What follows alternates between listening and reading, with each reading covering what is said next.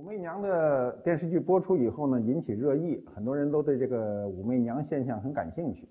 武则天的电影电视剧拍了很多了啊，我这个记得我年轻的时候好像就看过。我印象比较深的倒是那个台湾有个演员叫归亚蕾，她演的那个武则天给我的印象很深刻。母亲登基，改国号周，唐王朝平静的覆灭，那是唯一一丝来自离家遥远的声音。后来再我看到再演武则天的，没有人能演过她那种感觉。但是现在呢，拍的武媚武媚娘呢，是拍的她年轻的时候啊。年轻的时候，因为武则天活得很长。武则天呢，她作为帝王呢，她的这个寿命是非常长的，有多长呢？中国历史上所有的皇帝啊，活得最长的是乾隆，八十九岁，其次是梁武帝，南朝宋齐梁陈的梁武帝，活到八十五、八十六岁。武则天是名列第三，按照我们现在说呢，是季君啊，活到大约八十二岁。他下面还有一个皇帝可以跟他拼，就是宋高宗赵构，大概活也是八十一、八十二，跟他岁数差不多，比他略小。啊，活过八十的皇帝一共就有四个人，包括最后一名是忽必烈，活到大约八十岁。啊，武则天呢，在中国正史上呢，她不算皇帝，她算一个，还是算皇后，尽管她做过大周皇帝。啊，但是她下葬的时候啊。以她以皇后的身份下葬，还是跟她夫君李治啊，这个唐高宗李治呢一同下葬。但是武则天的名气太大啊，今天我们去乾陵的时候呢，大家都不是说去看高宗的墓，不是看李治的墓，而是看武则天的墓，尤其她那块这个非常有名的这个无字碑啊，他这无字碑呢，我去看过啊，尽管后人也在上面乱七八糟刻了点乱七八糟，但是呢，它确实一开始是无字的。无字这事儿有点意思啊！我们历史上的所有的的记记载都叫文献记载，唯独嗯武则天的这碑呢无字，所以对她的这个这个无字碑的记载就叫无字碑啊，没有。那为什么没字呢？啊，有各种解释啊，各种解释。比如有人说他觉得自个儿作恶太多，所以没法用文字记载。呃，有人呢说呢他比较大度啊，是希望是非。评说让后人评说，所以呢就不需再写什么。我倒觉得后面这种解释还是挺符合武则天的那种啊那种心机的。她是一个非常有心机的女女女人了啊。她小时候应该说是一个非常有心机的女孩。她十四岁呢就嫁到宫里去了，就嫁给了这个唐太宗李世民啊。李世民后宫的人太多，到今天都没有一个很确切的数字啊，几百人总是有的。那么，按照武则天后来的回忆说，她老说啊，她当时太宗对她还是很宠爱的。但是学者们都认为这是她的呃自个儿单方面说的话，就是她给自个儿贴金。因为，因为为什么大家觉得她没那么呃太宗对她没那么宠爱呢？首先记载不详啊，第二呢。这个武则天还是生育能力很强的啊，人生育能力，尤其女人啊，生育能力强了，证明身体很好。但是她最能生育的时候，就是她十四岁到二十六岁这十二年。太宗对武媚娘的临幸呢，肯定次数不会太多啊，她没有怀上孕，这是一个证据。因为呃那个时期就是他最年轻、生命力最旺盛的时期，理论上讲哈。差不多擦火就着啊，他就是没有怀上，所以就证明太宗对他的宠爱是有有度的，肯定不是无度的。因为唐太宗呢活的岁数并不是很长，他活的大概五十岁多一点儿啊。那么在他的这个晚年的时候，武媚娘发现这个问题以后呢，就开始跟太子啊，跟李治啊就眉来眼去。究竟俩人怎么勾搭的呢？说的。就是怎么勾搭成功的啊？就各种五花八门的说法。我老说哈，历史没有真相啊，这确实没有真相。我们今天的你看到的影视剧都不是真相，都是编剧们猜测的、揣摩的啊。有人还认为他们俩那爱情最早是从厕所里发生的，你觉得这事儿可能吗？嗯，那么他们俩之间啊，武媚娘跟李治之间的这个。这段恋情呢，从某种意义上讲呢，是冒天下之大不韪的。他为什么敢冒呢？这有一个前提，就是因为唐朝啊，李氏家族、李世民家族啊，他的血统问题，就是他的血统不是很纯，不是汉人血统，他至少有一半以上的鲜卑血统。我们都知道游牧民族啊，由于过去的生活比较艰辛，他生活比较艰辛呢，这个死亡是随时可能发生的。只要这女人不是你的生母啊，不是跟你有血缘的生母，那么如果丈夫去世啊，那么底下的儿子，尤其长子都可以作为补充力量，让这个所谓的小妈继续生育。所以在这种情况下呢，你看武则天啊，武则天啊，先是理论上讲她是李治的小妈，按照我们今天说，这叫乱伦啊，也是后来骆宾王。写讨武曌檄文的时候的一个攻击点，对吧？我们记得这个年轻的时候看到这个曹禺先生的《雷雨》，雷雨那也是乱伦呐，也是那小妈毕竟是妈呀。汉族人认为，农耕民族认为，这个这是不可逾越的一条障碍，就是只要是你爹娶的媳妇儿，你再喜欢都不能动手。平，我希望你还是像从前那样诚恳的人。你知道，我没有你在我的面前，我已经是很苦的了。所以我就要走了，不要再提起那些后悔的事。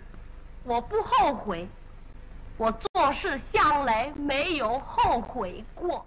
唐代皇室啊，因为有这个鲜卑血统啊，有游牧文化的血统，所以呢，他对这个妇女改嫁呢还是比较宽容的啊。比如《新唐书·公主传》中呢，有记载的二十九人改嫁过，其中有五人三嫁啊，改过三次嫁啊。我们今天一个人改三次嫁，基本上就废了啊。那你比如我们知道的襄城公主啊、太平公主，这都改嫁过。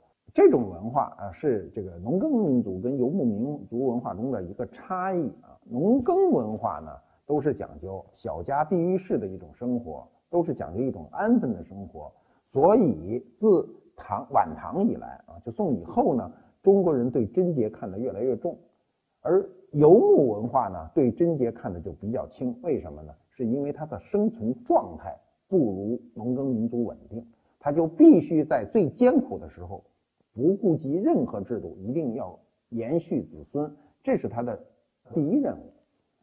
那么按照惯例啊，太宗去世，去世以后，皇上去世以后呢，所有。皇上临幸过的，就是嫔妃啊，没有生育的，一律到寺院去，轰到寺院去，然后一辈子啊，削发为僧。为什么要削发为僧呢？就是这些女的都是皇上动过手的，这个动手的含义非常丰富啊。那么别人就不能再动手了，所以就把他们只好赶到这个佛家重地啊。呃跟着青灯黄卷，伴度余生。那么武媚娘是知道这个惯例的，所以呢，她要给自己留一个后手，就跟李治眉来眼去，搭上了这层关系。而这层关系恰恰在她的后半生，或者是在她的一生中起了决定的作用。那么李治当上皇帝啊，李治是高宗。李治当上了这个皇帝以后呢，确实从心里。惦记着这个女孩，她为什么惦记着呢？我觉得啊，女人和女人之间有很多不同。这个说这个就是比较玄妙啊。只有接触过很多女人的男人，才能感受到女人之间有所有什么不同。武媚娘的这个“媚”字很有意思啊，“媚”是女人最具备、最具诱惑力的一种一种姿态，或者说一种形态。我们。就反正我没碰见过这么媚的女人啊！慢，朕赐你一个新名字吧。当初曹子建见洛神女曾作赋道：“柔情绰态，媚于语言。”以后你就叫媚娘吧。木头王子，记住了，这就是我大唐的女子武媚娘。据说这女人只要有媚啊，我们今天说那魅力是一个鬼字一个一个墨啊。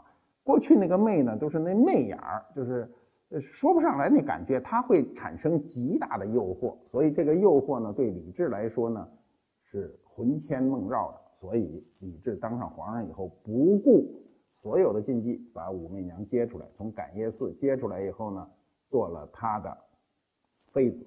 我们生活中啊，其实今天提媚呢，老是提那个鬼味媚，是吧？说这个魑魅魍魉的媚。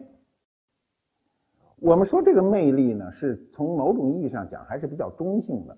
我们说古代的啊，就是一个女字边一个眉毛的眉，这个媚呢，是从某种意义上讲呢，你还不能说它是贬义，一种羡慕的贬义啊。这个词儿很怪异，就中国的词汇中啊，呃，不是用简单的说这是一褒义词儿，这是一贬义词儿去解释了，它是有一种带有羡慕的一种贬义啊。所以武媚娘呢，就是运用这种媚术啊，这种媚术是一种。很有意思的能力啊，应该是，我觉得是是超出常人的，所以他把这个李治勾搭的魂牵梦绕啊，所以李治呢就是不顾任何禁忌把他给接出来，先以侍女的身份，最终成为他的嫔妃。那么故事我们都很清楚了，王皇后、萧淑妃这些故事啊，鸡争鹅斗的故事，互相吃醋的故事。这些故事我们都很清楚，但是问题是我们有很多细节并不一定清楚。比如它的着装，就是大家都很感兴趣的这部分着装，究竟唐代能露多少？唐代装束是什么样呢？我们很有意思啊。我们今天是有图像为证的，因为什么呢？因为唐代的文物出土的比较多，尤其壁画。壁画在两晋南北朝、西东晋两南北朝时期的很多墓葬都有画像砖，那时候画像砖画的都比较草率，我们都可以看到。你喜欢文物的人都知道，他画的比较草率。但是唐代墓道里的那个墓葬画的这些壁画都非常写实，而且细致入微啊。比如永泰公主墓啊，那里有很多壁画能反映当时唐代的妆容仪，这个包括仪表，包括出行的这些阵势。我们还有很多国宝图，比如捣练图啊，比如簪花仕女图啊等等，够唐代乃至仿唐的画啊，都能表现当时唐代妇女的这些妆容。我们知道啊，初唐的时候还是受隋的影响，服装都比较严谨。我们看到这些壁画或者这个出土的文物啊，服装一般都可以到颈部啊，没有这么拼了命的像露出来。但今天我们看到电视剧，可能也是为了取悦于观众。为什么要取悦于观众呢？就是因为观众喜欢啊。我们这些年看到的都是，呃，这个衣服都是越穿越少的。比如我们这些年啊，大家看电视剧都喜欢那个看古代服装。古代服装呢，第一华丽啊，比我们今天的服装，我们今天的服装再华丽，跟古代服装比较起来，确实不够华丽啊。第二呢，希望大家很希望就是把古代的一些。模了模糊的记载能很能够很实际的呈现，是不是衣服越穿越少呢？我们并不很清楚。看电视剧呢，我觉得跟实际中有很大的差距。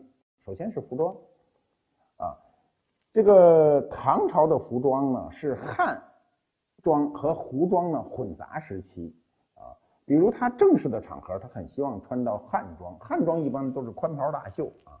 胡装都比较紧身。我们今天啊，西服我穿着西服，基本上也算胡装啊，就是它从西边来的。我们今天叫西服，你也可以叫胡服，就这个意思是一样的。真正的中式服装呢，过去都都比较宽松。那么，呃，平时的时候啊，就是在唐朝平时的时候呢，那个唐朝人都愿意穿胡服，胡服比较方便。我们今天也是，你仔细想想，西服它就是比我们的那种。很严谨的中山装，比如那有蜈蚣脚的那种扣子啊，据说能扣十一个。你想，你早上起来扣十一个扣子，跟扣一个扣子的速度都不一样，所以他就愿意穿这种很随意的服装。胡服啊，在过去啊，从战国啊，战国胡服骑射开始，到汉代灵帝号胡服，到唐代乃至后面，胡服都是比较简单的一种服装。所以从汉族文化的角度上讲，它比较。比较抵抗那个，就觉得那东西太随意。我们不是讲究理智吗？理智就比较繁杂。那么初唐的时候啊，这个服装还是比较严谨。然后到了中唐、盛唐以后，才逐渐变得比较开放。那么它开放到什么程度呢？也不是我们今天这个程度。我们今天这个程度有一点跟过去肯定是不一样的。哪一点不一样呢？就是过去它无论这个服装啊怎么裸露。啊，怎么暴露？它有一点是纯自然的，它绝对不去挤啊。这个挤字儿很有意思。过去它都人长的这东西都是下垂的，都是随着自然有重力的。你现在反重力，你往上堆，所以就堆出毛病来了，就堆出大头娃娃来了，对吧？那么好，我们知道唐装有一点啊，很有意思，它重什么呢？它重前面表达，不重后面。所以唐代服装不露后膀子。我们今天有时候去看个什么什么呃时装表演呀，有时候看个现在什么车展呐，那车模后脊梁一直露露的露到后面那脊椎骨啊，跟鳄鱼似的，全都数得出来，是吧？那都露着。过去唐装绝不许露后背，肩膀都不许你过分的露啊，就到这儿为止了。我们今天的服装，我还真因为我对不起大家，我实在没工夫去看电视剧，所以我还真不知道这个武媚娘这样的电视剧中的这个后背是不是露的多少，这我不太清楚啊。但是我可以告诉大家，唐代的时候露露出来的时候是非常有限的。有时候啊，我这儿有时候来点导演，说起来有的都是大导演，大导演来了老说你能不能给提点专业意见？有时候我就说这事儿不能提，为什么不能提呢？如果按照专业，按照所谓的考据的原则去拍电视剧，您这电视剧拍不了，电影也拍不了。我们讲过三国是吧？三国现在的三国肯定是骑马打仗，可三国时期不骑马打仗，就这一条你就讲不了。武媚娘写过很多诗，武则天是有诗集的啊，他还真不是一首两首，他有人专门研究他的诗，他有三言、四言、五言、七言的，写过很多诗，而且武武则天的文采，我觉得从文人的角度上要求都是非常高的。此人不是等闲之辈，绝不是一个呃，就天天靠着勾引别人去生存的这样一个女人。呃，你比如她当时啊。他有一首诗很有名，这首诗是在中国啊唐代爱情诗里啊，呃，算数得着的这个爱情诗。呃，武则天写的这首诗很有意思啊，叫“看朱成碧思纷纷，憔悴之离为忆君。不信比来长下泪，开箱验取石榴裙。”啊，这石榴裙很有意思，在唐诗里啊写到石榴裙的地方很多。石榴裙是个什么裙子呢？我可以告诉你，这石榴裙主要是指的颜色。看朱成碧啊，很多解释啊，一般的解释都是说，看这个花盛开的时候，花谢了，最后成了绿叶子，大概是这样。然后为为忆君是吧？这个让我说看朱成碧啊，就看红的成绿的呀，就看恍惚了。你知道人看恍惚了是一种境界啊，你也未必啊，这个。武媚娘当时不是这个感觉，就是说，我看这红色都跟绿色一样了。红绿这两色呀，是色中之王，这两色还容易产生色盲。你知道，真正严重色盲的人就是红绿不分，红绿灯看不清楚。所以为什么这个色盲的人不能开车，就是这道理。那么，看朱成碧思纷纷，就是我不停的在想你啊，想你。唐诗中还有红裙杜莎石榴花之句啊，你看。这个它主要是这个裙子的颜色啊是红色的，石榴那个红色，你你们注意看啊，石榴红不是大红，是一种说不出来的一种紫红。因为有这个唐诗，我们过去啊乃至到现在说这人栽了跟头，栽在女人身上，都说拜倒在石榴裙下，是吧？我们现在好多官员就是拜倒在石榴裙下。那么你想想啊，这个武媚娘啊，先是。嫁给了，或者说给唐太宗李世民做妃子，后来嫁给了李治，两任丈夫都是皇上，自己也做了皇上吧，儿子李显、李旦也坐上皇了皇上了吧？你想想啊，这人啊，自己站在中间，上面两个人，下面两个人都是皇上，自己也是皇上。你想想，天，中国做皇上的人多了，男皇上当然很多了，女皇上说起来就这一个。慈禧太后到最后都没坐上这皇上，所以武则天呢，不管怎么说啊，她这个权力权倾一时，最终做了这个皇上。尽管他临终的时候把位置让出来了，又让李氏啊江山继续延续，我想这也是他聪明之处。无论他怎么是万般无奈，也算是聪明之处。伴随着登基的庞大古乐。母亲悄然离去。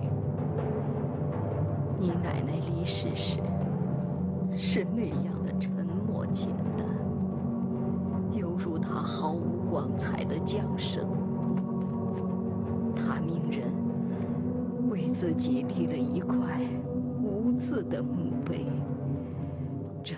人呢，知进知退是很重要的。我觉得这个武媚娘既知进又知退。武媚娘呢，这个出身呢不算特别高贵，她是一个田房生的啊，但是非常有心计。你比如说她入宫的时候，这个所有人都觉得入宫啊是是一场大灾难，为什么呢？那时候啊不是皇帝来钦点，你见不着皇帝，是很多人帮忙把这人送进去，送进去有可能一辈子皇上都见不着，或者说没有人临幸你，你这一辈子就给耽误了。但是武媚娘非常高兴，她觉得什么来了呢？机会来了，所以我们今天老说啊，干得好不如嫁得好，对吧？你看人武则天就是嫁得好啊，人不仅嫁得好，还干得好，这一辈子呢，当上中国唯一的女